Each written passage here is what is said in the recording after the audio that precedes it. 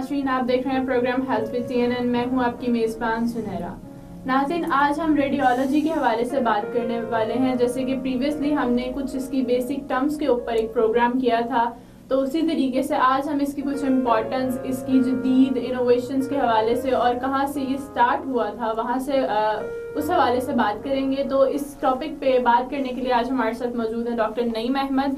तो पहले तो हम इनको वेलकम करते हैं। डॉक्टर साहब आपने टाइम निकाला और आप इधर आए तो बहुत बहुत वेलकम आपको। थैंक यू तो जैसे कि नाजिन हम ऑलरेडी बता चुके हैं कि हम डॉक्टर साहब से रेडियोलॉजी के हवाले से बात करने वाले हैं। तो डॉक्टर साहब आप बताइएगा बेसिकली ये डिपार्टमेंट कब स्टार्ट हुआ था? कहाँ से इस डिपार्टमेंट की ज़रूरत महसूस हुई कि इसको स्टार्ट करना चाहिए?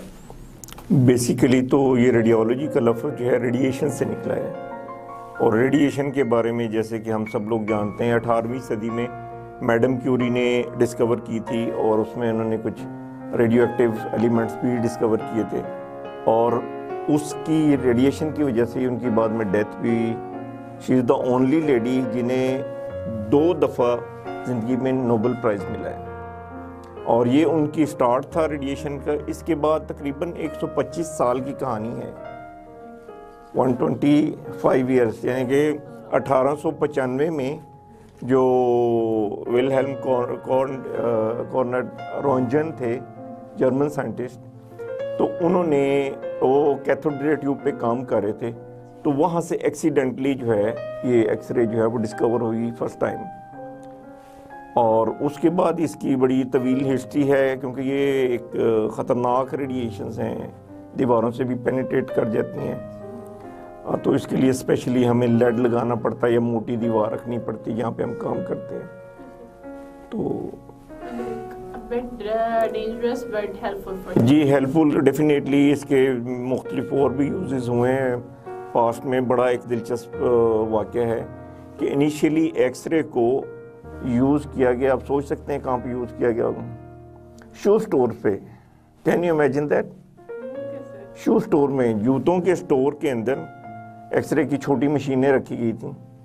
और उसके अंदर आपको जूता पहन के अपना पाँव उसके अंदर रखते हैं। और वो क्लाइंट्स को दिखाते थे कि आपका पाँव वो देखें कितना कंफर्टेबल है कहीं से दब नहीं रहा कहीं से ये नहीं हो रहा। तो ये ये जो प्रैक्टिस रही कुछ अर्सा फिर जब इसके हैजर्ड सामने आए तो उसके बाद ये प्रैक्टिस ख़त्म कर दी। इवन ये कि रेडियोलॉजी रेडिएशन से जो घड़ियाँ इस्तेमाल होती थी पहले आपने शायद ना देखी हमने देखी हुई हैं। रेडियम वॉचेस कहते हैं। जिनको रात को ग्लो करते हैं टाइम के जो हिंसे हैं और जो नीडल्स हैं उसकी उन पर रेडियम होता था उससे रिपोर्टेड हुआ है कि कैंसर हुआ है तो अब वो नहीं आ रही मार्केट में। अच्छा तो बेसिकली इस शोबे की मेडिकल की फ़ील्ड में इम्पोर्टेंस क्या है?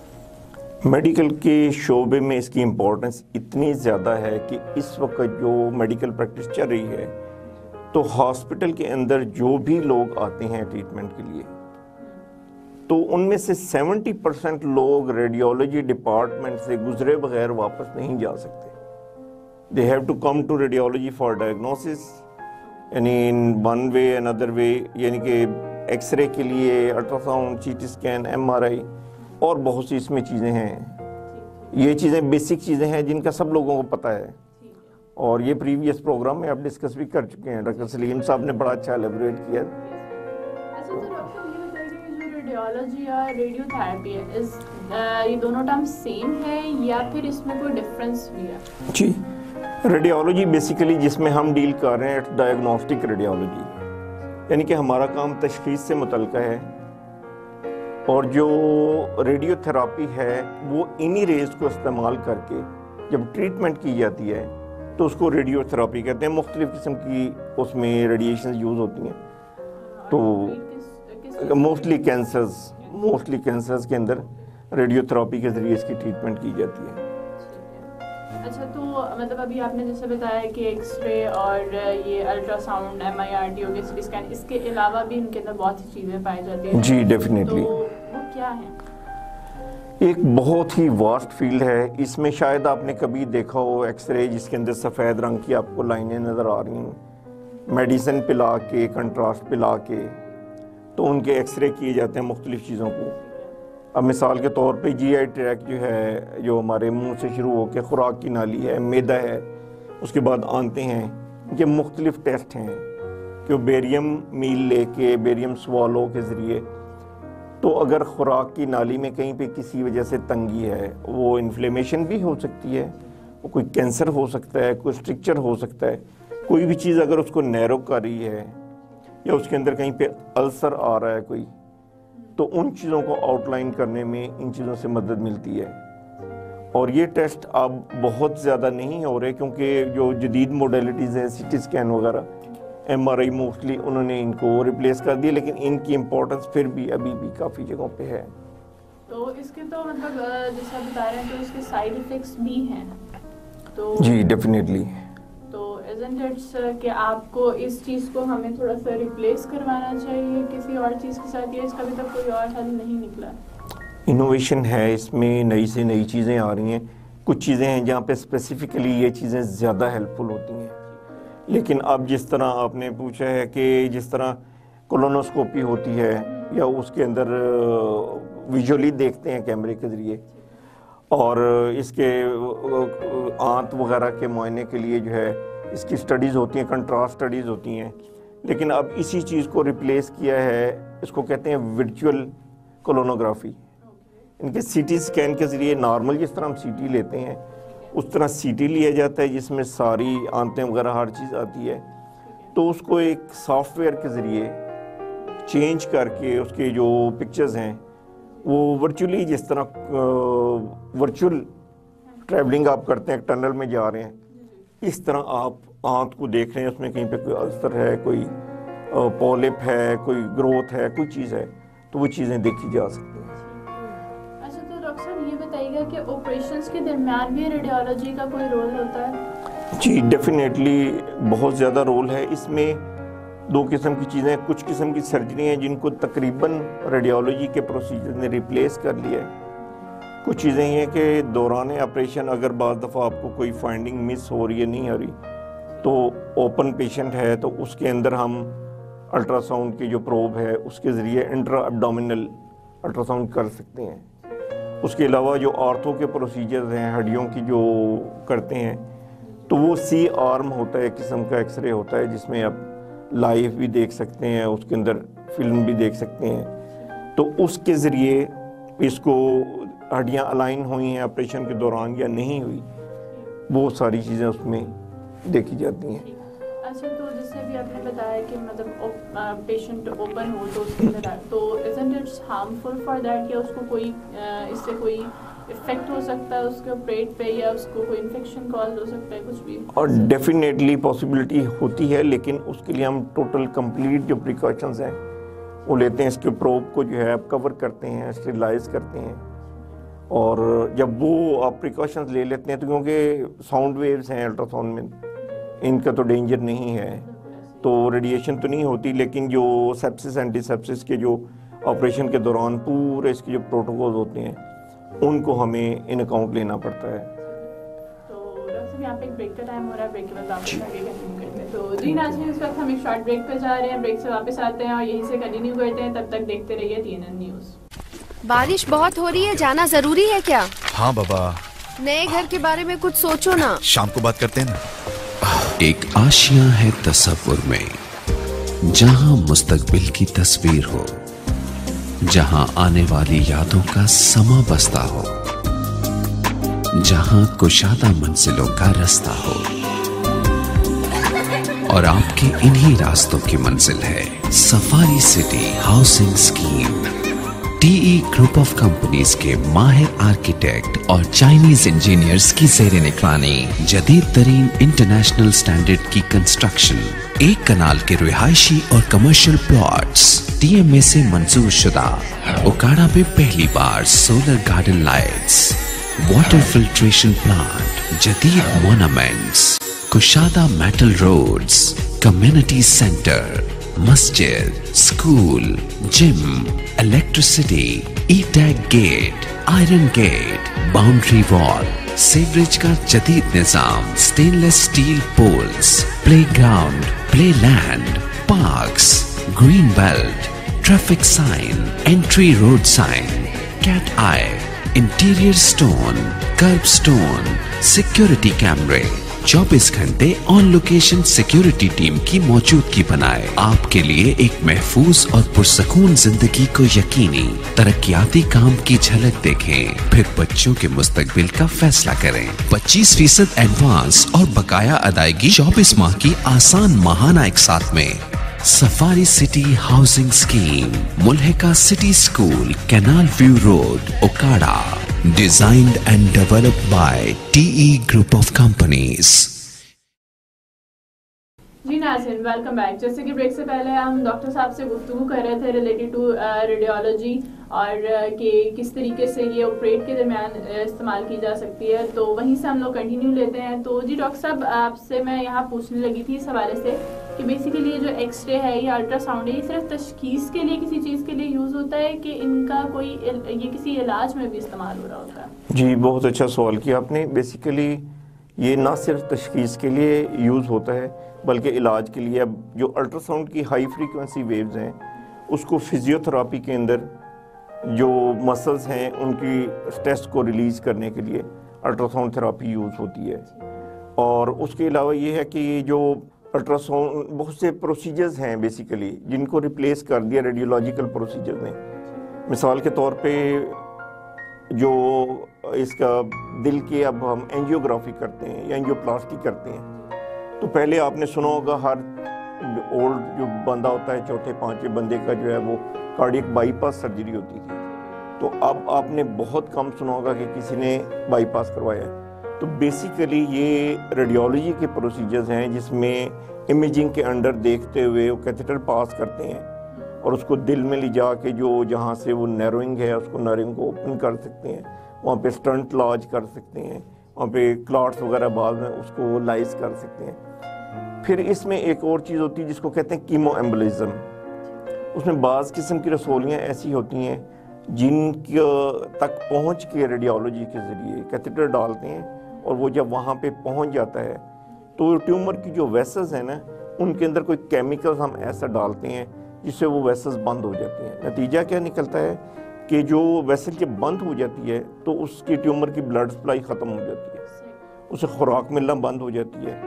बढ़ना बंद कर देता है और अल्टीमेटली सुकड़ता सुकड़ता, आहिस्ता आहिस्ता ख़त्म हो जाता है। फिर न्यूरो इंटरवेंशन है इसके अंदर, जो दिमाग के हैं। इसमें क्लिपिंग की जाती है। इसी के ज़रिए रेडियोलॉजी के प्रोसीजर हैं कॉइलिंग की जाती है। बहुत दफ़ा ये होता है कि जो खून की नाली है उसके साथ एक बब्बल नुमा चीज़ कोई आउट ग्रोथ निकल आती है। इसको एनोरिज्म कहते हैं। तो एनोरिज्म में वो क्या करते हैं? वो एक पोटेंशियल प्लेस होती है जहाँ से उसको रैप्चर होने का, नाली फटने का फॉलेज होने का ख़तरा होता है। तो उसमें ये करते हैं कि इसी के ज़रिए वेसेस के ज़रिए जाके दिमाग में वहाँ पे पहुँच के इमेजिंग के ज़रिए हम उसको देख रहे हैं और उसके अंदर एक कॉयल लॉज कर देते हैं वायर की। तो वो स्पेस उसकी ऑक्यूपाई हो जाती है। वो ऐसा ऐसा फिलिंग हो के उसके अंदर ब्लड के सेडिमेंट वो ख़त्म हो जाता है उसका फटने का चांस ख़त्म हो जाता है। जी। अच्छा तो डॉक्टर साहब जिससे भी ब्रेक से पहले हम बात करते तो आपने बताया कि कुछ ऐसे एक्सप्रेस जिनमें उससे पहले कुछ दवाइयाँ पिलाई जाती हैं देन किया जाता है। तो वो बेसिकली उस क्यों किया जाता है और किस लिए ये तरीकाकार यूज़ किया जा रहा है? इसमें एक तो चीज़ है मिसाल के तौर पे कुछ चीज़ें हैं इसमें जो फंक्शनल भी हैं यानी एक तो है ना सिर्फ़ तस्वीर दिखाते हैं। और एक है जो उसका फ़ंक्शन भी बताते हैं। मैं इसकी मिसाल इस तरह देता हूँ, जिस तरह आप कहते हैं ना कि सीरत और सूरत। अब रेडियोलॉजी में कुछ चीज़ें हैं जो सूरत दिखाती हैं। कुछ चीज़ें हैं जो सीरत दिखाती हैं, कुछ चीज़ें दोनों दिखाती हैं। तो इसमें यह है कि एक प्रोसीजर होता है I V U intravenous urography जिसमें अगर गुर्दे मसाने की नाली में कहीं पे रुकावट है तो इंजेक्शन के ज़रिए दिया जाता है। जब वो गुर्दा उसको, खून को जज़ब करता है तो वो ग्लो करने लग जाता है वाइट हो जाता है। तो वो कंट्रास्ट उसके अंदर नज़र आने लगता है एक्सरे में। फिर वो कंट्रास्ट जहाँ जहाँ पे जाता है, आपको पता चलता है यहाँ पे कंट्रास्ट आगे जाना बंद हो गया दैट मीन्स कि यहाँ पे आगे कोई रुकावट है, कोई स्टोन है, कोई स्ट्रक्चर है, पथरी है, उसने रोक दिया है। तो उसको देख के साथ ये भी पता चल जाता है कि ये गुर्दा काम कर रहा है, ये गुर्दा काम नहीं कर रहा। तो ये फंक्शनल भी किसी हद तक है। दूसरा जो पहले हम बात कर चुके हैं, बेरियम मील बाद दफ़ा नफसियाती मसले होते हैं, पेशेंट कहता है जी मेरे गले में गोला बना हुआ है। हालाँकि ये सिर्फ़, इसको कहते हैं, ग्लोबस पैलेडस एक बीमारी है, नफसियाती मसला है। वो बज दफ़ा खाते हैं, पेशेंट तो अंदर नहीं जाती, खुराक वापस आ जाती है। तो इन चीज़ों को डायग्नोस करने के लिए ये बड़ी अच्छी मोडेलिटी है। इसके अलावा एक अल्ट्रासाउंड होता है, अपना ट्रांस एसोफेजियल अल्ट्रासाउंड। यानी कि खुराक की नाली के ज़रिए अंदर एक प्रोब, ऊपर हम फेरे होते हैं। इसी तरह का प्रोब होता है, उंगली की तरह बारीक। जिस तरह आपकी जो एंडोस्कोप जाता है, एंडोस्कोप जाता है, एंडोस्कोप तो नाली के अंदर का हिस्सा देख रहा है। तो ये जो ट्रांस एसोफिजियल प्रोब जो डालते हैं 360 डिग्री का प्रोब होता है। तो नाली के अंदर अगर, यानी कि ल्यूमन के अंदर नहीं, नाली की दीवार के अंदर, अगर कहीं पे कोई कैंसर है, कोई छोटी मोटी चीज़, कोई ऐसी चीज़ है तो उसको बड़ा अच्छा वो डिटेक्ट कर लेता है। यहाँ पे मेरा ख्याल है बहुत कम है पाकिस्तान में ये और मैंने नहीं देखा लेकिन ये काम वेस्ट में हो रहे हैं। डेफिनेटली मतलब ये बात करने का मकसद भी ये है हमारा कि जो हमारी यूथ है क्योंकि हम आदि हो गए हर चीज़ बनी बनाई हमारे पास आ जाती है तो हम उसके आदि हैं। तो हमारे बच्चों को ये चीज़ें सोचनी चाहिए एक एक मशीन पाँच पाँच दस दस करोड़ की मशीन है। जिस पे आराम से जाके हम लेट जाते हैं हम ऑपरेट करते हैं और लेकिन ये 125 साल का सफ़र है। जिन्होंने मेहनत की आज उसका फल खा रहे हैं। तो डेफिनेटली हमें भी इस बारे में सोचना चाहिए। अच्छा तो डॉक्टर साहब यहाँ अक्सर बायोप्सी का वर्ड हम सुनते हैं डॉक्टर से। तो बेसिकली ये बायोप्सी होती क्या है? क्यों की जाती है? या इसको करने का पर्पस क्या होता है? और कौन इसको परफॉर्म करता है? ठीक है। बायोप्सी मोस्टली जो है पैथोलॉजिस्ट भी करते हैं, लेकिन जो गाइडेड बायोप्सी है, वो रेडियोलॉजिस्ट का काम है। रेडियोलॉजिस्ट हम करते हैं। तो उसमें बायोप्सी होती क्या है? बेसिकली जब आप अल्ट्रासाउंड करते हैं, आपको कोई चीज़ नज़र आ गई, एक मास नज़र आ रही है मिसाल के तौर पर अब हमें नहीं पता कि ये ट्यूमर है कैंसरस है, ख़तरनाक है, या मामूली चीज़ है, सोजिश है। तो सीटी में उसकी ज़्यादा बेहतर हमें डिटेल्स मिलती हैं। इवन जो एमआरआई है, उसमें इससे ज़्यादा कुछ चीज़ों की डिटेल सीटी में बोन्स ज़्यादा देख सकते हैं साथ हम। एमआरआई में बोन्स के लिए इतनी सेंसिटिव नहीं है, लेकिन एम एमआरआई लिगामेंट्स के लिए डिस्क के लिए, इन चीज़ों के लिए ज़्यादा सेंसिटिव अब जब ये आपकी मैस एक आ गई है इवन आपने उसके फीचर्स हैं, उसके ऊपर सीटी में एमआरआई में आपने डायग्नोज भी कर लिया कि ये इस किस्म का ट्यूमर हो सकता है। मिसाल के तौर पे दिमाग के अंदर है है लट से। ठीक है, हम उसको देख के अंदाज़ा कर सकते हैं। लेकिन हमेशा जो गोल्ड स्टैंडर्ड है इसके अंदर, वो ये है कि एक बायोप्सी यानी कि उसका एक टुकड़ा लिया जाए अंदर से। आमतौर पर नीडल्स होती हैं, मुख्तलिफ़ किस्म की गन्स होती हैं बायोप्सी गन्स होती हैं। उनके ज़रिए हम लेते हैं पीस और वो पीस जो है, उसको हम भिजवाते हैं लेबॉर्ट्री में पैथोलॉजिस्ट के पास। उसको हम भिजवाते हैं लेबॉर्ट्री में पैथोलॉजिस्ट के पास। पैथोलॉजिस्ट माइक्रोस्कोप में उसको देख के, मैं देखता है इसमें किस किस्म के खुलिए हैं कैंसर वाले खुलिए हैं, नहीं हैं, उनकी ग्रोथ हो रही है अब नॉर्मल नहीं हो रही। उनका जो न्यूक्लिक उसका मटेरियल है, वो उसमें डिस्टर्बेंस वगैरह तो नहीं हुई। तो ये गोल्ड स्टैंडर्ड है जो अल्टीमेटली हमें बता देता है कि ये कौन सा कैंसर है। ये उसका फिर हमें पता होता है कि हाँ नहीं अल्ट्रासाउंड फ़र्स्ट है इजीली अवेलेबल सस्ता है। अगर उसमें कुछ नहीं आता वेल एंड गुड उसमें कुछ आ गया उसको फिर डिपेंड करता है कि उसको हमें सीटी पे ले जाना है या एमआरआई पे जिस किस्म का टिश्यू है उस मुताबिक। लेकिन फाइनल डायग्नोसिस जो होता है ये इस किस्म का ट्यूमर है।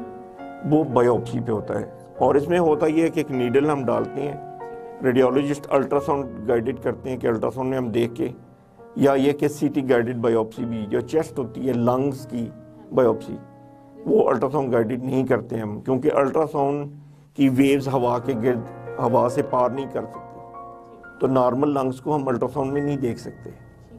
तो अल्ट्रा अगर बायोप्सी कोई चेस्ट के एरिए में करनी है लंग्स में से अपने टिश्यू लेना है तो वो हम सीटी गाइडेड बायोप्सी करते हैं उसके लिए। कि सी स्कैन पे लिटा के पेशेंट को उसको जगह को प्रिसाइजली लोकेट करके फिर उसके अंदर वो नीडल या गन डालते हैं और उससे टिश्यू का टुकड़ा निकालते हैं वो फिर पैथोलॉजिस्ट उसकी रिपोर्ट देते हैं। अच्छा तो सर जैसे भी आप बता रहे हैं तो रेडियोलॉजी बेसिकली और कितने शोबों के साथ लिंक्ड है और किस किस वे में हेल्पफुल है? आ, इस तरह है कि अब जो सर्जरी वाले पेशेंट हैं वो सर्जन के पास जाएँगे। जो ऑब्स गायनी किया उन्होंने सर्जन के पास मोस्टली नहीं जाना। ऑब्स गायनी वाले गायनाकोलॉजिस्ट के पास जाएँगे। और जो ये रेडियोलॉजी है, ये मोडेलिटी ऐसी इसकी मुख्तलि मोडेलिटीज़ हैं कि मोरलेस तकरीबन हर शोबे से पेशेंट हमारे पास आती हैं। फिर जिस तरह मैंने पहले बताया आपको कि जो इसके कार्डियक प्रोसीजर्स हैं एंजियोग्राफी एंजियोप्लास्टी न्यूरोलॉजी के जो इंटरवेंशन प्रोसीजर हैं इंटरवेंशन ये कि एक सुराख किया आपने, उसके ज़रिए वो काम कर दिया, जो सर्जरी से नॉर्मली पहले किया जाता है। तो ये चीज़ें मोस्टली अब जो स्पेशलाइज्ड रेडियोलॉजिस्ट हैं, या जो न्यूरोलॉजिस्ट हैं, या कार्डियोलॉजिस्ट तो वो लोग मिल के टीम में ये काम करते हैं। बेसिकली ये इसमें यूज़ रेडियोलॉजी के जो इक्विपमेंट हैं प्रोसीजर वो यूज़ यहाँ पे भी शॉर्ट ब्रेक का टाइम हो रहा है तो बिल्कुल वापस आते हैं। जी नाजन हम यहाँ पे एक शॉर्ट ब्रेक पर जा रहे हैं, वापस आते हुए मजीद गुफ्तु करते हैं। डॉक्टर साहब से तब तक देखते रहिए डी न्यूज़।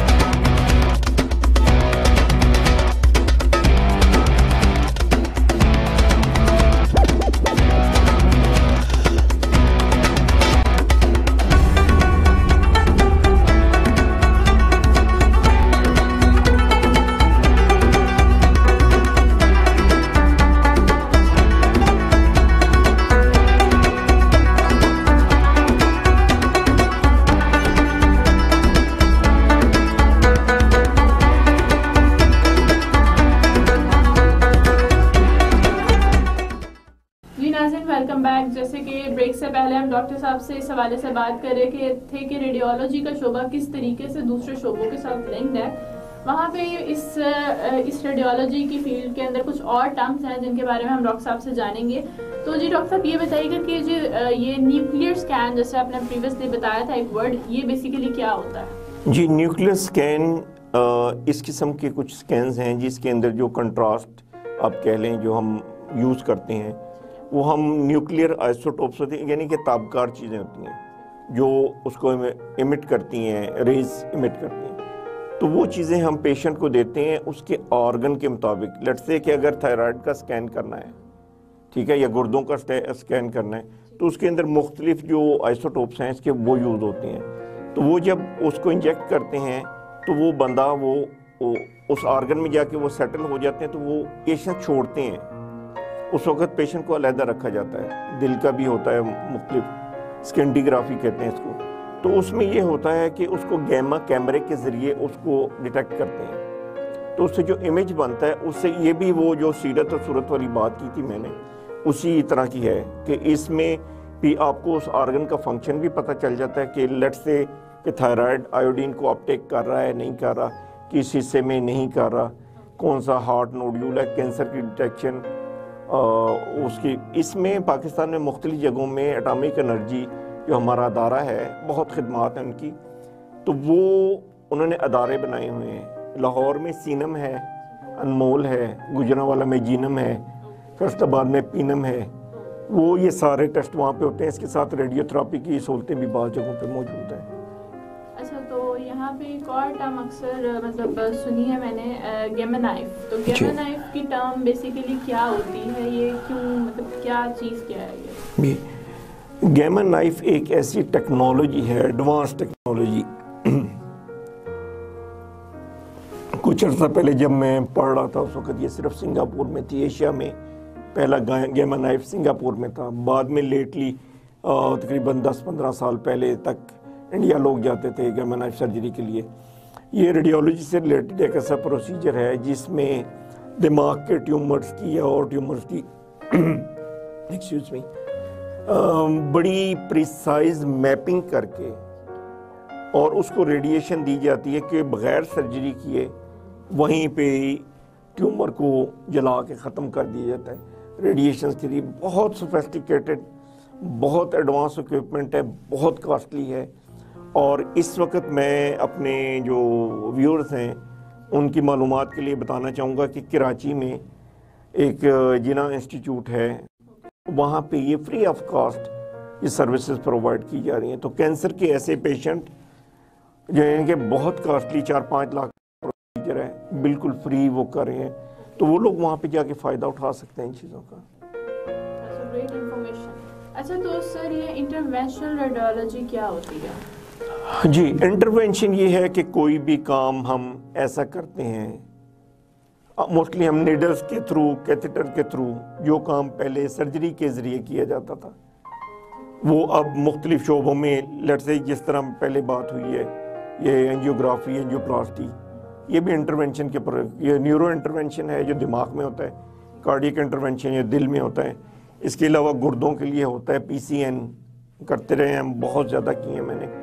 तो वो गुर्दे के अंदर एक अगर आगे ब्लॉकेज आ जाती है किसी जगह पे, जिसकी वजह से गुर्दा फूलने लग जाता है और ख़राब होने का ख़तरा है, नीचे कैंसर है या कोई रुकावट है, जिसका भी ट्रीटमेंट होने में टाइम लग सकता है। तो हम सिंपली ये करते हैं कि पेशेंट को लिटा के पीछे से उसको सुन करके और वहाँ से अल्ट्रासाउंड गाइडेंस के ज़रिए या सी आर्म के ज़रिए वहाँ पे एक ट्यूब डाल के हम छोटी सी और उसको बाईपास कर देते हैं। तो यूरिन उसमें आने लग जाएगा बैग में। और उसका गुर्दा सेव हो जाएगा। इसी तरह एक प्रोसीजर जो पहले आपने बात की थी ट्रीटमेंट की, इसी की अगली मोडेलिटी है, जिसको कहते हैं P C N L percutaneous nephrolithotomy तो उसमें यही होता है कि गुर्दे का ऑपरेशन पहले जो होता था, वो यहाँ से लेके यहाँ तक बहुत बड़ा ऑपरेशन होता था। अब इसमें हम ये करते हैं कि पीछे रेडियोलॉजिस्ट और यूरोलॉजिस्ट आमतौर पर मिल के करते हैं। पीछे से एक नीडल से पंक्चर करके उसी को सुराख को डायलेट करके इतना जगह बनाते हैं। गुर्दे के अंदर पहुँच के बाहर एक लिथोक्लास्ट होता है। इस तरह ये सड़क तोड़ने वाली होती है हिल्टी। उस तरह की छोटी सी मशीन होती है, जिसके ज़रिए गुर्दे के अंदर पथरी तोड़ी जाती है और प्रेशर के ज़रिए पानी डाल के उसको सक करके वहाँ से निकालते हैं। तो जो इतना बड़ा ऑपरेशन था रूटीन में, वो लिटरली तकरीबन ये एक उंगली के बराबर उसका इंसिजन तो इतनी ये पेशेंट की पेन मिजरी उसको इतना कंट्रोल किया गया है। अच्छा तो मेडिकल लीगल की फ़ील्ड में जैसे आप रेडियोलॉजी की फ़ील्ड में जो आपका तजुर्बा है इस हवाले से आप नाजरीन को कोई पब्लिक को कोई मैसेज देना चाह रहे हैं कुछ बताना चाहते हैं? जी मैंने मेडिकल लीगल में काफ़ी काम किया है। As a C M O भी अब मैं आजकल यहाँ पे साहिवाल में एज ए रेडियोलॉजिस्ट इन चीज़ों को देख रहा हूँ। तो पब्लिक के लिए मेरा एक मैसेज है कि खुदारा जो आप हमेशा ये सोचें कि गलत काम से हमने बचना है। लोग पुरानी हड्डियाँ टूटी होती हैं एक्सीडेंट में इधर उधर किसी गरीब को फ्रेम करने के लिए वो आ जाते हैं एक्सरे करवा के, लड़ाई का वकुआ बना के। तो मैं आपको ये बताना चाहूँगा कि रेडियोलॉजिस्ट को पता चल जाता है कि ये हड्डी अभी टूटी है या पहले टूटी है। तो खुदा रहा अपने हम दुनिया कहाँ पे पहुँच गई, हम कहाँ पे खड़े हैं? तो हम लोगों को चाहिए कि अपनी एथिक्स को, अखलाकियात को ठीक करें। और इतना कुछ हो रहा है इसमें, जो लड़ाई झगड़े हैं, और हम रोज़ एक से एक नया केस देख रहे होते हैं। तो ये बड़ी अलार्मिंग सूरत हाल है। हमें सीखना चाहिए लोगों को कि इन चीज़ों से बचें। जी। अच्छा तो डॉक्टर साहब, वैसे एक जनरल एक क्वेश्चन आपसे मैं करना चाह रही हूँ। जैसे आपने बताया कि रेडियोलॉजी में बहुत सारे एडवांसमेंट आ चुकी हैं। तो आप इसका फ्यूचर किस लिहाज से देखते हैं? कि इसका फ्यूचर किस तरीके का है? बहुत कुछ आ रहा है, नया बहुत कुछ आ चुका है, लेकिन ये एक समंदर है, जिस तरह चलते जाएँ। इसमें एक तो ये है कि आगे फ्यूचर में जो एक्सपेक्टेड है आर्टिफिशियल इंटेलिजेंस जो है, जिस तरह दूसरे शोबों में आ रही है रेडियोलॉजी में भी आ जाएगी यानी कि अभी हम बैठते हैं तो हम सी टी स्कैन का एक एक इमेज देख के उसकी हम रिपोर्टिंग करते हैं कि ये हो सकता है, ये हो सकता है, ये हो सकता है। तो आर्टिफिशियल इंटेलिजेंस में वो सारी चीज़ें उन्होंने कंपाइल करके एक डाटाबेस बना के एक कंप्यूटर में फ़ीड कर दिया है। जो हमने एक एक इमेज को देख के पचास इमेज देखने या सौ या हज़ारों की तादाद में होते हैं? तो वही कंप्यूटर उसको सारे इमेजेस को एनालाइज करके तो वो काम आपको रिपोर्ट जो है वो दे देगा। दूसरी एक बड़ी, जी, दूसरी एक बड़ी ज़बरदस्त चीज़ है जो ये मैंने पहले आपको दवाई पिला के ये बताए हैं प्रोसीजर उसमें सिंपली एक कैप्सूल दिया जाएगा। पानी के साथ पी लेंगे हम। वो 24 घंटे हमारे अंदर जो हम खाते हैं वो रहता है। तो उसके अंदर ही लाइट सोर्स है उसी के अंदर ही कैमरा है और वो अंदर से जाके आपकी फ़ोटोग्राफी करता जाएगा। तो नेक्स्ट डे आप वॉशरूम में जाके उसको रिकवर करेंगे और आपका अंदर का पूरा बायोडाटा आपकी खुराक की नाली कैसे है आपका मैदा कैसे है उसमें कोई प्रॉब्लम तो नहीं है छोटी आँत बड़ी आँत। तो उसमें जो कुछ है वो फ़िल्म बना के आगे आपके सामने आगे टी एन एन पे चला दी जाएगी। अच्छा तो यहाँ डर की बात हुई है तो एक और क्वेश्चन कहते जाते हैं कि मतलब जो लोग ये टेस्ट करवाते हुए हिचकिचाते हैं या डरते हैं उनके लिए या कोई पब्लिक के लिए एक अवेयरनेस मैसेज आप देते हैं जो इन चीज़ों से जी डेफिनेटली बहुत इंपॉर्टेंट सवाल है आपने बड़ी ज़बरदस्त बात की है। हमारे आमतौर पर लोग क्या कहते हैं हमारे पास आते हैं पेशेंट कहते हैं जी आ, टेस्ट की कराना जी डॉक्टर साहब कोई बीमारी पता लग जाएगी की करेंगे सी हाँ मारते जाना ही है। तो भाई मरना तो है, जब वक्त आएगा मरना है। मरने से पहले ज़िंदगी को मौत क्यों बनाते हैं? एक बंदे को कुछ भी नहीं है लिटरली कुछ नहीं है। वो अपने दिमाग में कोई बीमारी पाल के बैठा है, वो सोच रहा है, मेरे दिल में तकलीफ़ है, यहाँ पे तकलीफ़ है, वहाँ पे तकलीफ़ है। अब रोज़ जीता है रोज़ मरता है। ठीक है ना? तो उसे चाहिए ये कि भाई तुम जाके टेस्ट करा लो। अगर क्लियर आ जाएँगे तो खुश हो जाओ कि अल्लाह का शुक्र है, मुझे कुछ नहीं है। और अगर उन टेस्टों के अंदर कोई इशू आता है तो उसका इलाज हो जाता है। अल्लाह ताला ने फरमाया कि जो बीमारी आई है, उसका अल्लाह ताला ने इलाज भी नाजिल किया है। और अब जो एडवांसमेंट जितनी मैं ये बातें हमने डिस्कस की हैं, जितनी मोडलिटीज़ आ चुकी हैं, बहुत सी बीमारियों का इलाज हो जाता है। इनिशियल जितना जल्दी टेस्ट करवा लेंगे, पकड़ी जाएगी बीमारी, और वो उसका इलाज मुमकिन है, बिल्कुल। बहुत अच्छा लगा। अभी ये प्रोग्राम का वक्त खत्म हो रहा है तो हमने इसको खत्म करना है। तो पहले तो बाबा शुक्रिया कि आपने अपना कीमती वक्त निकाला और हमें इतना टाइम दिया और इतनी अच्छी इंफॉर्मेशन दी और जो कि बिल्कुल बल्कि मुझे भी नहीं थी। तो बहुत इन्फॉर्मेटिव सेशन रहा आपके साथ। तो जी नासिन हम यहाँ पे अपना प्रोग्राम आज का ख़त्म करते हैं। फिर मुलाकात होगी एक नए मेहमान के साथ एक नए उन्वान के साथ। तब तक देखते रहिए टी न्यूज़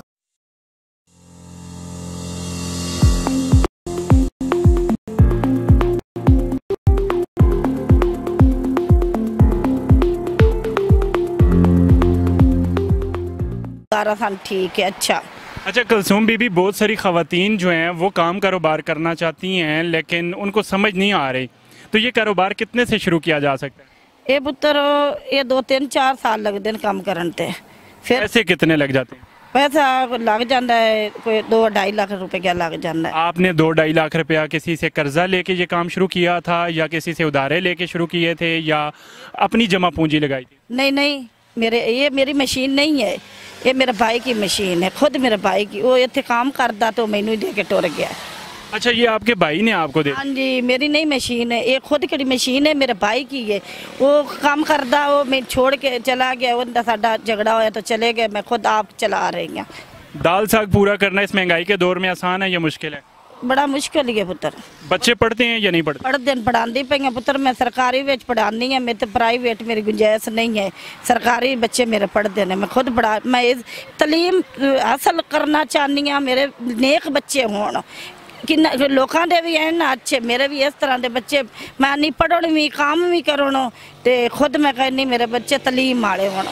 तलीम हासिल मैं करना चाहनी हूँ बेटा। कलसूम बीबी बहुत सारे लोग आपको देख रहे हैं मुखैर हजरात जो अमीर तमीर लोग हैं हुकूमत पाकिस्तान के नुमाइंदे भी उनसे कोई इल्तजा कोई रिक्वेस्ट करना चाहेंगे?